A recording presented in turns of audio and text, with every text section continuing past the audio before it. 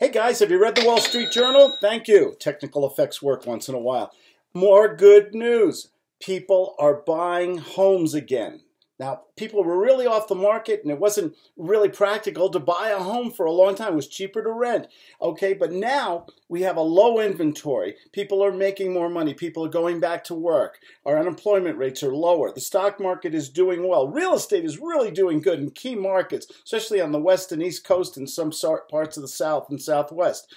So, what do we have here? A classic supply and demand situation. What does that basically mean? If the supply is low, that means prices go up. People want to buy homes now, but there's not that many on the market. What does that mean? That we're going to have to start building homes again, building more homes. That takes time. You just don't build a home like that really quick.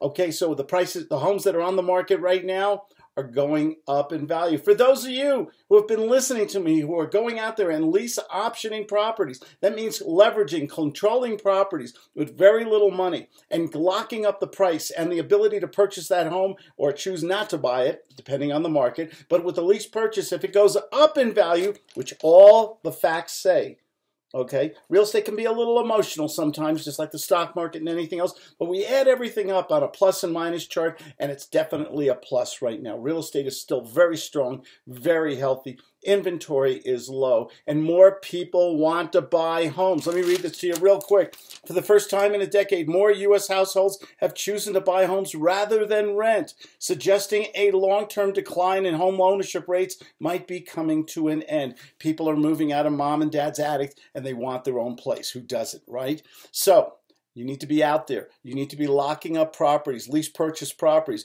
Get one for yourself. Live in it if you don't own a home now so you can buy it in the future. You know it's going to go up in value and you're going to have something wonderful. We're going to uh, experience something called appreciation. Homes that'll go up in value. So if you have a lease option on it, you can buy that home and have instant equity when you buy it a year, two, five years later. If you don't want to buy it, you can keep it as an investment property or you could just sell the contract to somebody else. You have choices and that's the wonderful thing about it. For you investors out there, get hold of some properties, rent them out. Even if you break even, they will go up in value. If you can make money, option money up front, positive cash flow every month. My daughter's first three words, by the way, positive cash flow. It's not so bad. And um, old joke, I use it all the time. And it'll go up in the back end too. The value will go up. So let's take the facts. Let's not get emotional. Let's just go out there and lock up properties because we know on a long term basis, real estate is still the best investment out there. This is Claude Diamond in back in Colorado, snowy Colorado, and I answer my own phone. Nobody else does that. 970-281-5151 and nobody nobody deserves success more than you guys. Take care.